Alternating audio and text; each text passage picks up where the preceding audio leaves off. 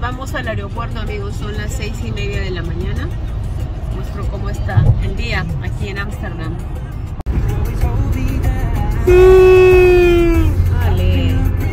Salir. ¿ah? Move to the left of one kilometer.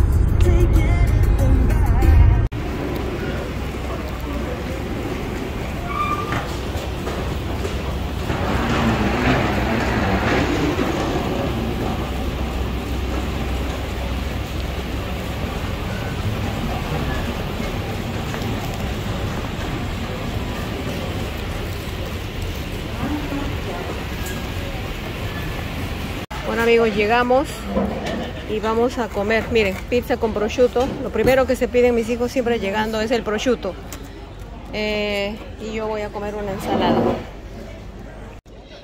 Bueno, queridos amigos, les cuento que llegamos bien a Milano, Italia. Hemos comido lo que ustedes han visto. Solo tuvimos un pequeño percance en, en Holanda al momento de, de despegar el avión.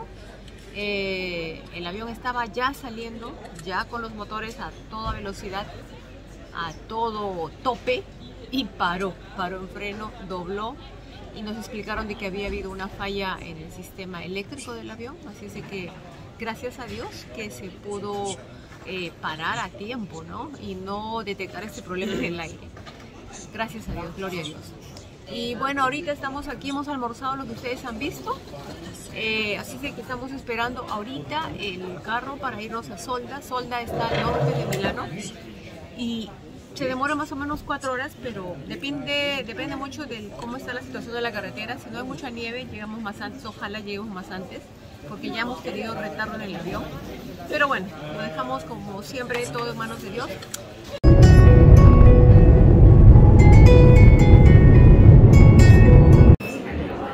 Llegamos amigos, esto es carpacho y eh, una verdura, creo se llama arrúcula, rúcula. Yo en Perú comía solo lechugas. Bueno, acá tenemos risotto de fongite, de hongos. Esta sopa se llama goulash.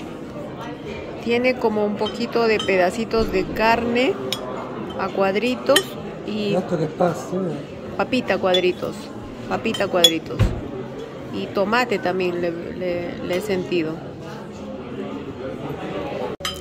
¿Saben qué?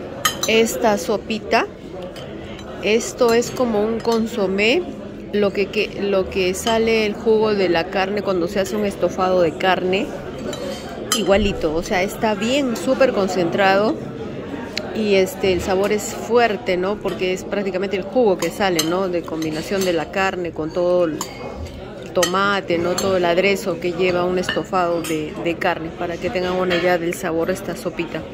Se llama goulash. A ver, este es el segundo y parece, les digo parece porque el señor le pregunté y me ha dicho que tampoco sabe cómo se llama el plato. Pero parece que es chanchito porque veo que hay huesito acá. Miren, les voy a mostrar. Esto, acá hay huesito. Parece chancho. Eh, esto es como una papita, torrejita de papa. Y bueno, esto es el... eh, ay, me olvidé. Coliflor. Entonces, y es al estilo pizza, ¿no? Porque acá veo como tomate y mozzarella. Vamos a probar un poquito el sabor de este juguito para decirles cómo está. Mm, sí, como sí, como una pizza, tiene como, como una sabor, a- un saborcito a pizza. Amigos, este es un helado de higo. Como ven, ahí está el sabor y también está la fruta con caramelo. Les voy a mostrar lo que hay para desayunar. Estas son eh, brioche o cachitos, pancito integral o blanco. Acá está toda la parte de tortitas, eh, muslis. En esta parte del norte de Italia es bien este, común encontrar en los hoteles eh, los muslis, muesli, ¿no? O cereales. Acá más cereales para agregar. Acá tenemos la parte de yogur y fruta. Y acá la parte de los embutidos. Este es prosciutto crudo. Esto es salame y esto es prosciutto. eh, coto, o sea, es lo mismo que esto, pero cocinado, coto, cocinado cocido. Bueno, acá está cafés, tés, huevos y mermeladas. Buen provecho. Aquí hay acá, no abre. Acá hay huevo como así, este, ¿cómo le llaman? No me acuerdo ese nombre, pero bueno, es así, huevo... Eh, ya miren, voy a comer estos huevitos duros, le llamamos así, o ¿cómo le llaman? Sancochados, con pancito integral y he pedido también eh, leche chocolatada. Eso lo, lo, hacen al momento. Les quería contar aquí por qué es típico comer eh, muesli eh, de desayuno, ¿no? Porque generalmente en Italia comen dulce, comen su brioche, sus galletas con su café, eso es típico en, en, aquí en Italia. Pero aquí estamos en el norte-norte de Italia, que es prácticamente cerca a Austria. O la, eh, perdón, Alemania, Austria, casi tienen la misma cultura culinaria.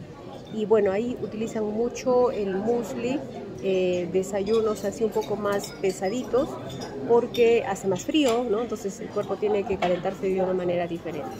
Miren, este es el muesli y le he echado un poco de la leche chocolatada y la verdad es que es muy rico porque es recontra, eh, tiene full cereales, full, tiene eh, linaza, este girasol, bueno aparte de las hojuelas de avena, tiene frutas deshidratadas, pasitas.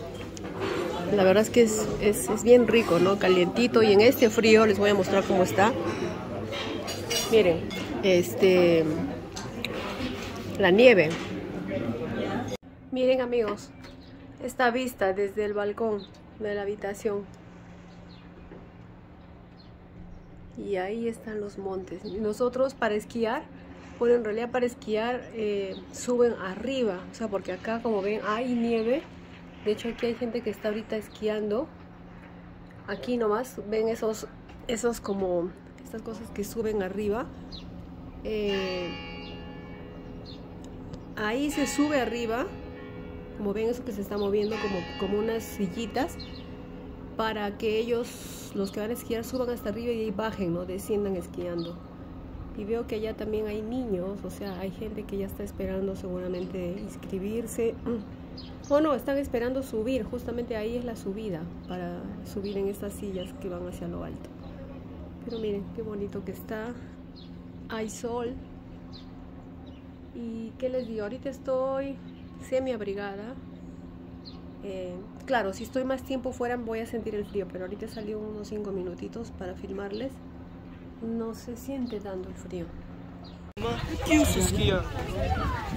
Miren amigos, miren. Ya están aquí todos preparándose para, para esquiar. Saben que acá donde ven que dice case, aquí, ahí está ese señor. Ahí hay que comprar unos tickets especiales para poder usar ese servicio. O sea, hasta aquí, donde estoy ahorita, hemos venido en bus y es gratis. Todo el mundo puede venir hasta aquí, tomar el bus. Hay diferentes horarios. Pero de aquí para arriba necesitan ellos un pase especial que es comprado ahí con foto. O sea, y bueno, yo no lo compro porque yo no voy a subir a, a donde ellos van a esquiar, que es allá arriba. Así es de que les digo ya cuánto cuesta eso cuando lleguemos ahí. Amigos, otra particularidad es que aquí también hablan puro alemán. Estando en Italia, pero estamos bien al norte, el idioma más usado es el alemán. Sí hablan italiano, pero prefieren hablar en alemán. Por ende, también todas las clases son en alemán y aunque los profesores hablan los dos idiomas, este, toda la gente acá se comunica en alemán. ¿Escuchan? ¿Escuchan? Alemán. Es que lo que pasa que en Austria hablan alemán también. Yo pensé que existía el idioma austriaco, pero no, eh, ellos también hablan en alemán y bueno, eh, como Austria es lo que está cerca aquí, al norte de Italia, entonces frontera, por eso es de que el idioma es el alemán, ¿no? Esos son los buses que vienen gratis y yo me he venido ahí. Les quería mostrar una cosa, miren, esta es la, todo el área de, de donde ellos esquían. Ahorita estamos aquí nosotros, ¿no? Que es donde vamos, eh, vamos a ver las, los tickets para poder subir arriba, ¿no? Yo hasta acá puedo venir en ese bus que han visto ahí, gratis, ¿no? Eh, de la ciudad subimos acá en el bus y luego de acá ya se tienen que comprar ese pase, ese pase para poder, miren, miren, a ir a todas esas eh, áreas, ¿no? Para poder esquiar. pero tienen que usar ese, ese servicio, ¿no? Que es de, ¿cómo le llaman? Colgantes, cabinas colgantes, bueno, eso. Ya pregunté, cuesta 23 euros eh, por día, la ida, o sea, por día entero, las veces que uno quiera subir. Amigos, y acá, donde ven que estamos entrando, es donde, donde alquilan los zapatos y los gorros para esquiar. Entonces, mm, hay gente que se viaja con eso, o sea, ya se vienen así, ¿no? Pero también los que no traen como nosotros pueden alquilar y como ven, ahí tienen eh, diferentes tamaños. Eh, buongiorno. Traen tamaños y los gorros, ¿no? Por, por, eh, por, por tamaño más que todo, ¿no? No por la edad, por tamaño. Los, ah, los zapatos también. Todo eso lo, lo alquilan.